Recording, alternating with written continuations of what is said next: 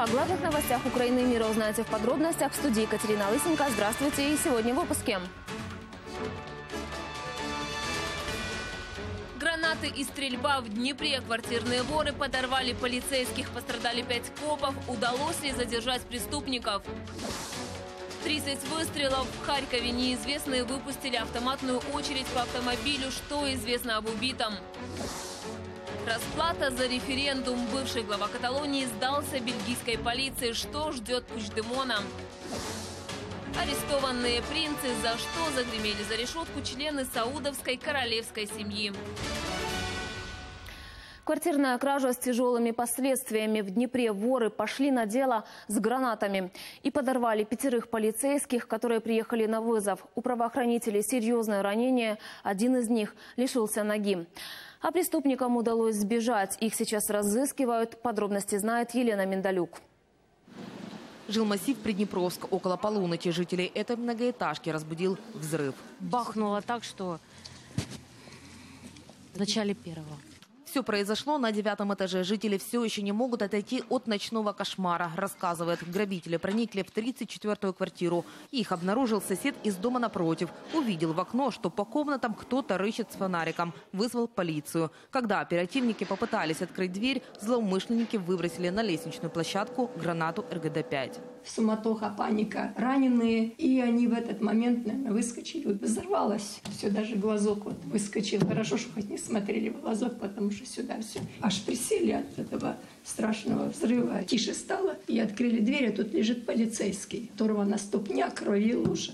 Грабители, убегая, отстреливались. Полицейским удалось ранить одного из преступников. Все ступеньки с девятого по первый этаж в крови. Уже на улице злоумышленники бросили под машину правоохранителей противопехотную гранату F1. В результате трое полицейских с осколочными ранениями попали в больницу. Подполковник полиции в реанимации открытая операция на брюшной полости и открытый перелом двух костей голи. Аппарат наружной фиксации стоит. Ну и шоковое состояние шока его вывели уже. На данный момент состояние стабильное. Еще один полицейский находится в реанимации областной больницы Мечникова. Угрозы его жизни нет, но пришлось ампутировать правую ногу. Ногу, по суті, відірвало. І перші хвилини лікарі хотіли спасати ногу, але шансів ніяких не було. Стопу так рознесло, що і спасати вже не було ніякого сенсу. Сержант Сергей Глушан, потерявший ногу, сейчас в сознании. О том, как получил увечья, помнит плохо. Я удерживал дверь просто. Я, ну, когда прозвучал, что там взрыв первый или что, я толком не понял. Ну, много дыма, взрыв, все. Поиски грабителей продолжаются. По словам свидетелей, преступников было двое. Я пошел выглянуть, ну и пробежали из-за угла, получается, дома выбежали, два парня пробежали. Все. Ну, силуэта, потому что света там у нас фонарей нету. На даний час е, в місті та області діє е, план Сирена. Е, Ми вживаємо всі необхідні заходи для того, щоб затримати зловмисників. Соседи говорят, скорее всего, грабители работали по наводке. То, что никого не будет дома, злоумышленники знали точно. Муж, жена и двое дочерей только вчера уехали отдыхать. Их родственники разговаривать с журналистами категорически отказались.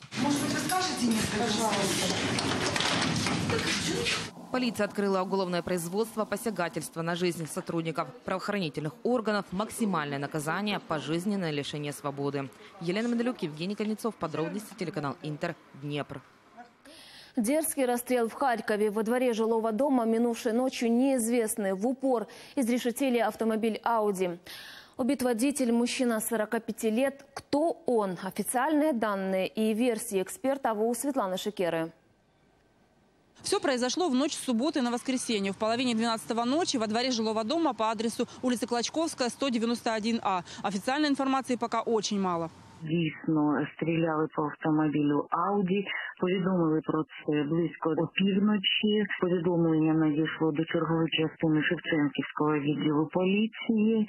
І виїжджали туди всі і криміналісти, слідчо оперативна група, безперечно, триває комплекс невідкладних оперативно-розшукових заходів, е, аби встановити особу потерпілого і розшукати осіб, які можуть бути причетні до скоєння злочину. По неофициальной информации, нападающие поджидали жертву во дворе дома. Как только Ауди заехал на парковку, они выскочили из своей машины и выпустили по иномарке несколько автоматных очередей по водительской двери и лобовому стеклу. В общей сложности убийцы совершили около 30 выстрелов. В 12 метрах от расстрелянной машины эксперты обнаружили 24 гильзы от пуль, выпущенных из автомата Калашникова.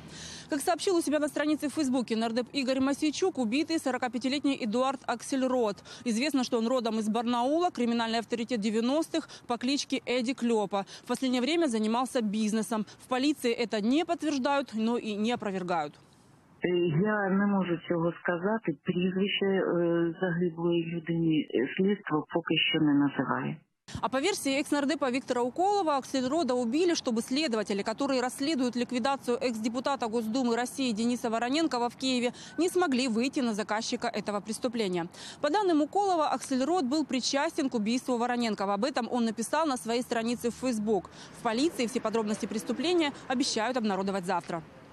Светлана Шикера, Александр Яновский. Подробности телеканал Интер Харьков. Ночная перестрелка в центре Хмельницкого. Около трех часов ночи две группы мужчин начали выяснять отношения в помещении для розыгрыша лотерей. В результате пятеро пострадавших, трое из них получили огнестрельные ранения. Помещение разгромлено, разбит и сожжен внедорожник одного из участников разборок. По данным полиции, все началось со словесной перепалки, потом завязалась драка и в ход пошло оружие. Полили из охотничьего ружья и пневматики. Причины конфликта неизвестны. Прибывшие на место оперативники задержали 12 человек. У двух пострадавших легкие травмы. Серьезное ранение получил 35-летний мужчина. Он сейчас в Хмельницкой городской больнице.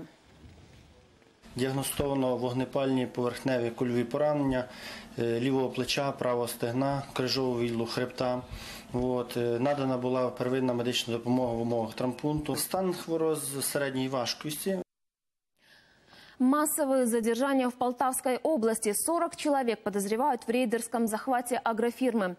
Операцию провели минувшей ночью. Лидеры группировки пытались скрыться на автомобиле, но в результате их тоже задержала полиция. Всех подозреваемых доставили в участок. И очередная шокирующая авария. На трассе Киев-Чоп внедорожник сбил насмерть двух женщин прямо на пешеходном переходе. Водитель на большой скорости проехал на красный сигнал светофора. Сбив людей, он даже не притормозил. Патрульные остановили его уже на въезде в Ривне В капоте автомобиля застряла сумочка одной из погибших. Уровень алкоголя в крови водителя превышал норму в 10 раз. Им оказался 52-летний житель Ривного, местный валютчик Владимир Мартынов. Его задержали. В машине следователи нашли недопитую бутылку коньяка, пива и удостоверение инвалида. Водій не хотів виходити з автомобіля свого, відмовлявся виходити. Е, Причину появи механічних пошкоджень свого транспортного засобу пояснити також не міг. Е, Ну, в результаті, скажімо, заходів е, водія було затримано. Пытался скрыться и виновник ДТП в Черновцах. Накануне вечером 39-летний местный житель насмерть сбил 19-летнюю студентку. И так же, как и в случае с водителем из Ривны, не остановился. Все подробности аварии расскажет Ольга Поломарюк. Авария произошла накануне около 8 часов вечера. 19-летняя студентка возвращалась домой, дорогу переходила на зеленый свет. Внезапно на огромной скорости девушку буквально снес микроавтобус. Ее отбросило на несколько десятков метров. На зеленый свет она шла, да. И сбылый.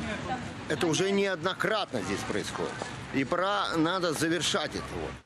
Девушка скончалась на месте, вот водитель даже не остановился, сбежал с места ДТП. Его машину вскоре нашли в соседних дворах. Микроавтобус на еврономерах. В нем никого не было, водитель скрылся. У ході пошукових заходів даний автомобіль було знайдено покинутим на сусідній вулиці. Зі слів очевидців дорожньо-транспортної пригоди, у водія були помітні ознаки сп'яніння. В полиции уже установили личность водителя. Это местный житель, ранее судимый. Сейчас его ищут. В соцсетях тем временем вовсю обсуждают инцидент. Местные жители жалуются. Мол, проспект Независимости едва ли не самая опасная улица в Черновцах. Дорога плохо освещается. Плюс ко всему, из-за широкой полосы здесь часто устраивают автогонки. В горсвете об этой проблеме знают, но вся загвоздка уверяет в бюрократических формальностях. Чтобы поставить, к примеру, на этой улице ограждение, нужны специальные разрешения рішення. Потрібно, скажімо так, це робити було вже е, чомусь, е, ну скажімо так, на жаль, на 2017 рік ці роботи не були заплановані. Е, вони є не стільки, повторюся, коштовні, тобто це встановлення дорожніх огорожень, стовпчиків, підсвітки переходів. Избежать подобных аварий могло бы введение патрульных постов на особо опасных участках дороги, заявляют эксперты. После ночного инцидента в Горсовете уже готовят специальное обращение в Верховную Раду. В полиции тем временем просят жителей помочь в поиске сбежавшего водителя и уже распространили его фото. Ольга Поломарюк, Игорь Рига. Подробности телеканал Интер. Черновцы.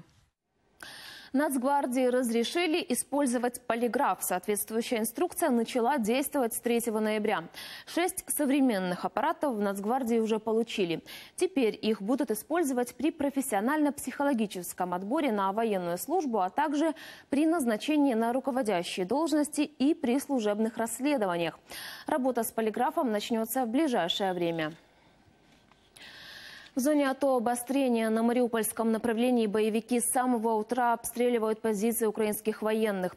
Бьют из минометов запрещенного калибра, а под Донецком имитируют обстрелы со стороны украинской армии. Под огнем оказалась Донецкая фильтровальная станция, поврежден хлоропровод.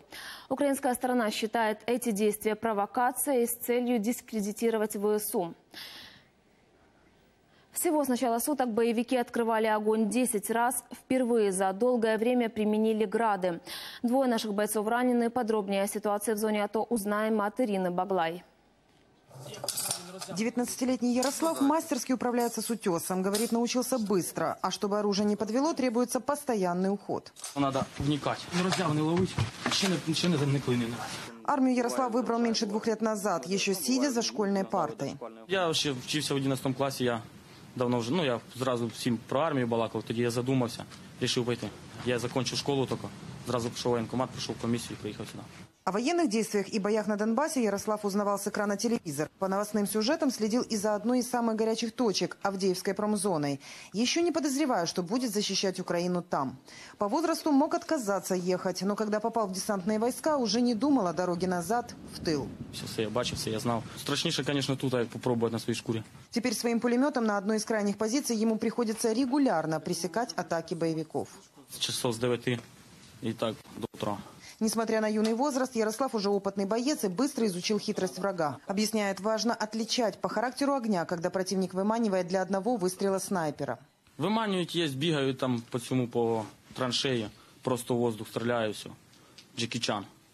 А есть, бегают, ну, есть уже прицельно, оно уже чутно по стенке. По характеру стрельбы боевиков украинские военные уже определяют, что задумал враг. Коли вони не, не підлазять там нічого, це вони стріляють прямо по нас, пару раз бувало в больниці залітало.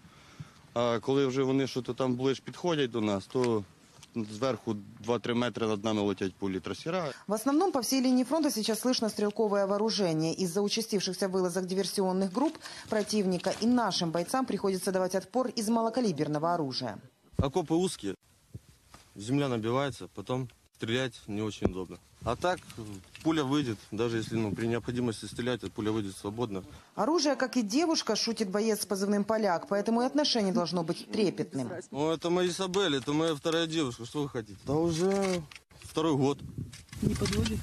Никак нет. С ней сплю регулярно, стабильно и регулярно. Ирина Баглай, Даниэль Косаковский, Евгений Малярчук из Донецкой области. Подробности. Телеканал «Интер». Президент Украины Петр Порошенко и госсекретарь США Рекс Тиллерсон обсудили ситуацию на Донбассе. О телефонном разговоре сообщает пресс-служба главы государства. Речь шла о принципах работы миротворческой миссии ООН. Говорили также об освобождении заложников, которые незаконно удерживаются на оккупированных территориях и в Российской Федерации. Карлос Пучдемон сдался бельгийской полиции. Европейский ордер на арест бывшего лидера Каталонии и четырех экс-министров испанский суд выдал в пятницу. Мадрид обвиняет их в организации мятежа, растрате государственных средств и злоупотреблении служебным положением. Что ждет Пучдемона и его соратников, узнаем у нашего корреспондента в Брюсселе Елены Абрамовича. Она на связи с нами. Лена, здравствуй. Расскажи, что тебе удалось узнать? Екатерина, в полиции сообщили, что Карлес Пучдемон вместе со своими соратниками пришел в брюссельский полицейский участок сегодня утром, в начале 10-го. Скрываться не было смысла. Журналисты давно выяснили, в каком именно отеле он остановился. К тому же Пучдемон свободно прогуливался городом. Например, посещал ярмарки. Полиция на выходных уже получила европейский ордер на его арест. Что это за ордер? Это тот же запрос на экстрадицию, но ЕС придумал такую процедуру, как упрощенный и ускоренный ее вариант. Но что важно, не автоматический. Вечером задержанных должен допросить следственный судья Бельгии. И в течение суток после задержания, то есть до 9 утра завтрашнего дня, он решит, что делать дальше взять их под стражу или отпустить.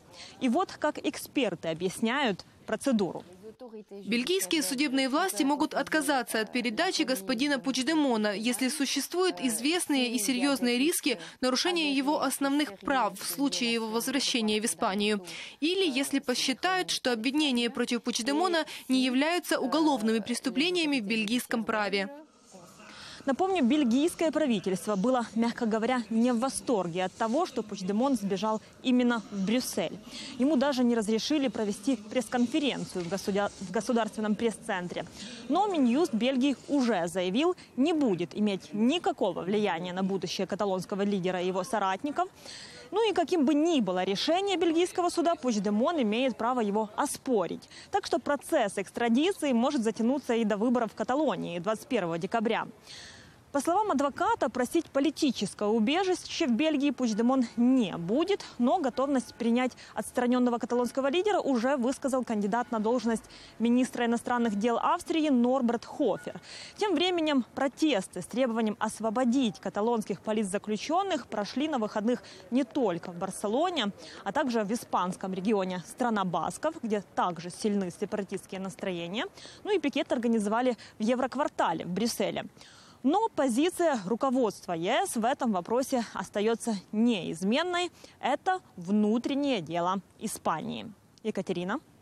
Спасибо, Лена. Елена Абрамович была на связи со студией из Брюсселя, где сегодня решают дальнейшую судьбу бывшего каталонского лидера. Из Большого театра в Москве эвакуировали около 700 человек. Силовикам поступил анонимный звонок о минировании здания. Еще более 2000 посетителей эвакуировали из гостиницы «Метрополь» и почти 3000 из ГУМа. Есть информация об угрозе взрыва и в других торговых центрах. На месте работают спецслужбы. Все помещения проверяют кинологи.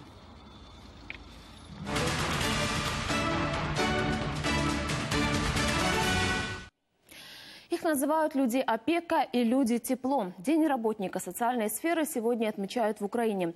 На Буковине при Свято-Вознесенском Банченском монастыре находится детский дом. Еще в начале 90-х его начал создавать отец Михаил Жар. Сейчас здесь проживают около 300 детей, многие инвалиды. Буквально с первых дней основания приюта его опекает лидер оппозиционного блока Юрий Бойко. Накануне праздника он проведал ребят для гостя. Дети приготовили подарок, устроили концерт и рассказали об успехах в учебе. А с педагогами Юрий Бойко говорил о возможных учебных проблемах, связанных с новым законом об образовании. Ніколи питання не поставало так гостро щодо мови навчання. Хотілося б знати, яка перспектива подальшого їх функціонування. І батьки турбуються. І є якісь перспективи, що щось зміниться після засідання Венеціанської комісії. Ми подали в, в Конституційний суд звернення, 48 депутатів Підписала наша фракція, інші депутати, по відміни цього закону. І будемо наполягати, щоб він був скоригований, тому щоб такі райони, як ваш, мали можливість вчитись мовою, до якої вони звикли. В Смеле Черкасской области сотрудники фирмы по ремонту дорог могут сесть на скамью подсудимых. Две недели назад в центре города произошло смертельное ДТП, погиб водитель мопеда. Его колесо угодило в яму на трассе. Прокуратура обвинила в аварии дорожникам. Обо всем подробнее в нашем следующем материале. Ирина бережно листает альбом с фотографиями своего деда. Говорит, в свои 79 Владислав Александрович мог дать фору даже молодым Він постійно їздив, він на базар їздив, він дома, скажімо, чай мало пив. Наче жде, що він зайде. Фотографии и старенький изувеченный мопед – это все, что осталось внучке от любимого деда. Две недели назад пенсионер погиб в ДТП. Авария произошла на этом месте. Ирина до сих пор шокирована произошедшим. Более чем за 40 лет профессионального водительского стажа у деда не было ни одной аварии. Мопед пенсионера влетел в дорожную яму и от удара его отбросило на встречную полосу под колеса автомобиля. Це я приїхала на він сказав, я поїду, подивлюся, чи є там е, знаки дорожньої пробіг. То він сказав, немає там нічого, ні одного знаку. ніяких Ні одного знаку. Через два дня после трагедии дорожники наспех залатали асфальт. Хотя 5-сантиметровые ямы здесь появились именно благодаря им. Ремонтники вырезали их под новые латки. Водители маршруток говорят, ездить приходилось как на слаломе. Две недели. Ну, по всей дороге. Кто куда. В Смелянском горосполкоме заявляют, безопасность на время работ должна была обеспечить нанятая городом организация. Хотя бы установить предупредительные знаки. С представителем фирмы нам удалось связаться только по телефону Попереджувальні знаки виставляються обов'язково, і вони були виставлені з обох сторін руху. Один е, знак виставлений це був дорожні роботи, інший був знак виставлений вибоїни. Тобто було два комплекти справа і зліва. Это еще один участок дороги в Смеле, который ремонтирует тот же подрядчик. Несколько недель назад дорожники также вырезали здесь асфальт, но не удосужились поставить ни одного предупреждающего о ямах знака. Из-за этого на наших глазах едва не случилась очередная авария. По факту смертельного ДТП открыли уголовное производство. В прокуратуре уверены, авария произошла по халатности дорожников. Повідомлення про підозру ще нікому не повідомлялося та не вручалося, е, оскільки проводиться ну, досудове слідство. Конкретну інформацію щодо стану досудового слідства я не можу повідомити більш детально, оскільки це є таємниця досудового розслідування. Если вину дорожников в смертельном ДТП установят, им грозит до пяти лет тюрьмы. Ольга Теребинская, Станислав Кухарчук, Павел Тимошенко. Подробности. Телеканал Интер. Черкасская область. Около ста человек погибли в результате теракта в Сирии. Среди жертв много женщин и детей. Еще 140 мирных жителей ранены. Мощный взрыв прогремел в лагере для беженцев возле города Дейр-эз-Зор. Туда въехал смертник на автомобиле с взрывчаткой.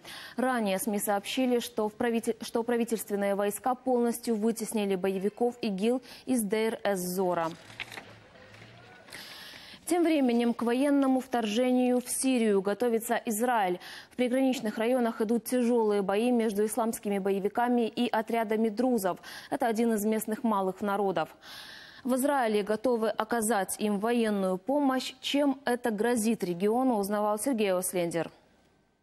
Городок Хадер расположен у самой израильской границы только с сирийской стороны. Населяют его преимущественно друзы. Это немногочисленный народ, который живет на голландских высотах уже сотни лет. Друзы исповедуют свою особую разновидность ислама. И так как они национальное меньшинство, то обычно очень лояльны к действующей власти. Как в Израиле, так и в Сирии. И поэтому они мишень для различного рода радикальных исламистских группировок. На этот раз на Хадер напали боевики Джахаб Ан-Нусры, э, которые связаны с Аль-Каидой. Погибли несколько десятков человек. Друзское ополчение вступило в бой, пытаясь защитить город. Среди израильских друзов тоже начались волнения. Они даже пытались прорваться через границу, чтобы помочь своим соплеменникам. Мы пришли выразить солидарность со своими братьями на голландских высотах и сказать им, что мы с ними, что мы просим Израиль защитить их и что мы готовы сделать для этого все возможное. Израиль давно заявлял, что не допустит резни друзов, поскольку считает их своими союзниками. Сейчас Кабинет министров всерьез рассматривает, причем впервые с начала гражданской войны в Сирии, возможность военного вторжения в эту страну для того, чтобы защитить друзские деревни, окружив их кольцом своих войск. Сейчас на границе сконцентрированы части элитной пехотной бригады Голани, танки и артиллерия. Если вторжение все-таки произойдет, то практически неминуемо приведет к столкновению израильских военных э, с сирийской армией и иранскими отрядами, которые тоже действуют в этих районах. Там же, кстати, находятся и базы российских военных. Э, фактически сейчас происходит новый виток э, сирийского конфликта. После разгрома ИГИЛ различные группировки, национальные и религиозные, снова начинают враждовать между собой. Ситуация, по сути, возвращается э, к началу гражданской войны, когда армия Асада и повстанцы воевали друг с другом, но ни одна из сторон не могла одержать победу. В то же время жертвами войны становились различные национальные меньшинства, вот вроде тех же друзов или курды, или христиане и многие другие. Сергей Услендер, подробности, Ближневосточное бюро, телеканала «Интер». Уничтожить ядерное оружие КНДР можно только при условии вторжения в страну. Об этом говорится в отчете Пентагона о возможных военных действиях США на Корейском полуострове. Как сообщает американское издание The Washington Post, документ в Палату представителей Конгресса направил контр-адмирал Майкл Дюмон. В Пентагоне не исключают, что в ответ КНДР может применить биологическое или химическое оружие. Королевская облава в Саудовской Аравии. Сразу 11 принцев задержаны по подозрению в финансовых махинациях. Накануне король подписал указ о создании антикоррупционного комитета. Его возглавил наследный принц Мухаббит Ибн Салман. В этот же день и взяли под стражу 11 членов королевской семьи, четырех действующих министров и десятки бывших. Их обвиняют в злоупотреблении властью, подписании незаконных сделок по продаже оружия и отмывании денег. Среди задержанных принц Аль-Валид Ибн Талал, один из самых богатых людей на Ближнем Востоке. Его состояние оценивается более чем в 17 миллиардов долларов. Он владеет акциями компаний Twitter, Apple, Disney и Citigroup. Что делают зомби в Мексике, сколько стоит картина, написанная слоном, и что нужно сделать, чтобы насладиться блюдами нового ресторана в Париже. Об этом и не только в нашем обзоре. Зомби-благотворители. Сотни мертвецов бродили по улицам Мехико, чтобы помочь пострадавшим от двух смертоносных землетрясений в сентябре. Загримированные активисты, одетые в лохмотья, помогали собирать вещи и продукты для тех, кто остался без крова над головой. Среди волонтеров были даже маленькие дети. Участники акции уверяют, людям есть чему поучиться даже у зомби, ведь они никогда не нападают друг на друга. Три шедевра слонихи-абстракциониста продали в Будапеште. 42-летняя Сандра пишет картины, держа кисть хоботом. Цвета и сюжеты подбирает сама. Живет слониха в бродячем цирке, куда попала еще малышкой. По словам дрессировщика, в отличие от других цирковых слонов, она рисует только когда у нее есть вдохновение. Каждая картина Сандры стоила покупателям по 150 долларов. Из лондонской канализации вытащили айсберг из жира весом 130 тонн и длиной около 250 метров. Гигантская пробка из застывшей грязи, влажных салфеток, памперсов, масла и другого мусора заблокировала канализационные трубы на востоке Лондона. На то, чтобы все это убрать, у коммунальщиков ушло два месяца. Они говорят, жировая глыба сформировалась из-за привычки жителей города сливать в канализацию горячее масло и жир после готовки или выбрасывать в унитаз предметы, которые которые не разлагаются. В Норвегии определили лучшего лесоруба в мире. На зрелищном чемпионате по разрезанию и раскалыванию бревен Кимберспортс силачи на скорость расправлялись с деревом. Интриги не получилось. Первым стал участник из Новой Зеландии Джейсон Виниард, который побеждает на соревнованиях уже девятый год подряд. Со своим бревном он справился всего за 10,5 секунд. Кроме того, помог получить золото и своей команде. За состязаниями наблюдали около трех тысяч зрителей. Первый ресторан для нудистов открылся во Франции. В парижском заведении «О Натюрель» посетители должны оставить абсолютно всю одежду в гардеробе. После этого можно вкусить блюд высокой кухни и продегустировать вино. Владельцы ресторана, братья-близнецы Майк и Стефан Саада, позаботились о приватности посетителей. Окна заведения тонированы, и понаблюдать за нудистами с улицы не получится. Средний чек в ресторане составляет 30 евро. Огнями и фейерверками в Британии отметили ночь Гая Фокса. На улице городов по всей стране вышли сотни людей с факелами в память о ночи порохового заговора 1605 года. В полночь принято запускать фейерверки и сжигать главных злодеев года. Обычно ими становятся мировые политики. В этом году в Эдинбурге на костре сожгли Харви Вайнштейна. Чучело голливудского кинопродюсера уничтожили из-за скандала с сексуальными домогательствами, в которых его обвинили сразу несколько десятков актрис. И о выходных. На новогодние праздники у украинцев будет 6 нерабочих дней. Выходные на Новый год продлятся три дня с субботы 30 декабря до 1 января включительно. Еще три на Рождество 6, и 6 7 и 8 января. Сокращенных рабочих дней перед праздниками не предусмотрено. Это все новости к этому часу. За развитием событий следите на нашем сайте подробности.ua. Я желаю вам хорошего вечера и до встречи.